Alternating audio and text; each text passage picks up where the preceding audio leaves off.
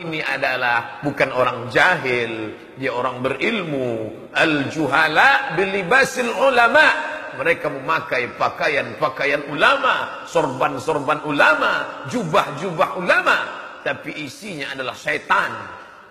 Kadang kita suuzon dengan anak-anak muda ini.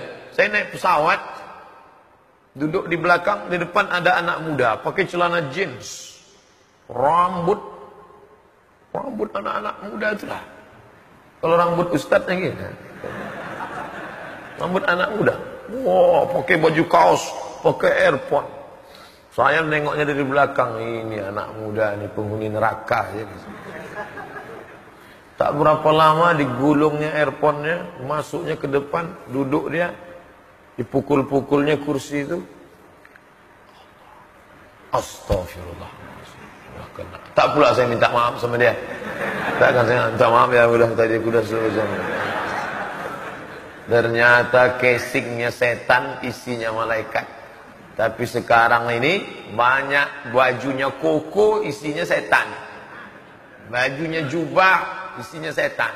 Bapak-bapak yang berjubah jangan tersinggung, bagus sudah. Baik. Memakai ayat-ayat dipakai tafsir. Saya sudah baca tafsir ini, sudah baca tafsir ini. Nabi sudah mengatakan, ulama usuk mereka nanti akan muncul kata Nabi sallallahu alaihi wasallam. Yattakhiduna hadzal ilma tijaratan. Dijadikannya agama ini sebagai tijarah, barang dagangan.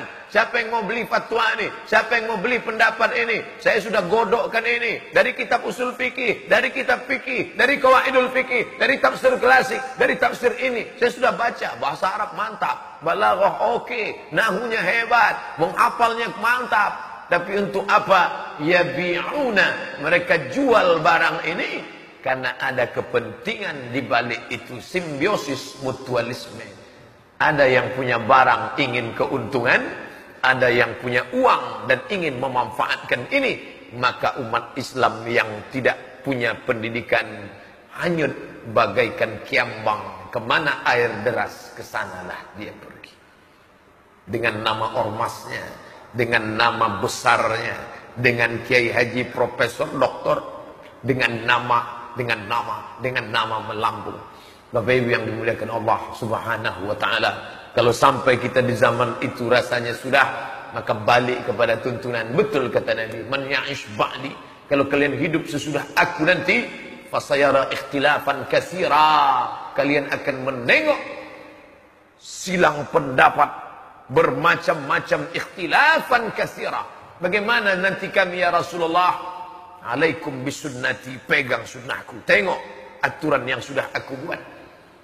Wa alaikum bisunnati, alaikum bisunnati wa sunnatil khulafa'ir rasyidin min ba'dihi min ba'di wa sunnatil khulafa'ir rasyidin al-mahdiyyin min ba'di. Ikut sunnahku, ikut sunnah khulafa'ir rasyidin yang memberikan jalan pencerahan. Dengan jalan itu kalian bisa membedakan mana yang benar, mana yang salah, mana bengkok, mana lurus, mana hitam, mana putih. Abdu alaiha bin nawajiz kalau kalian sudah dapat gigit pakai gigi geraham petir menyambar, kilat nampak, tapi dia tak akan lepas. Kenapa? Karena kalian sudah mengetahui kebenaran. La yadurrukum man dhalla idza tadaitum. Orang yang sesat tak akan dapat menyesatkan kalian. Dengan syarat apa? Idza tadaitum kalau kalian tahu jalan. Kalau kalian tahu jalan, maka tak ada satu pun yang dapat menyesatkan kalian. Tapi kalau kalian tak tahu jalan, banyak super taksi yang akan membuat kalian mutar-mutar. Super taksi jangan tersinggung. Tak semuanya jahat, tapi ada juga yang su yang membuat orang mutar-mutar hanya ingin menaikkan argo supaya terus berputar. Ribhan li untuk keuntungan semata.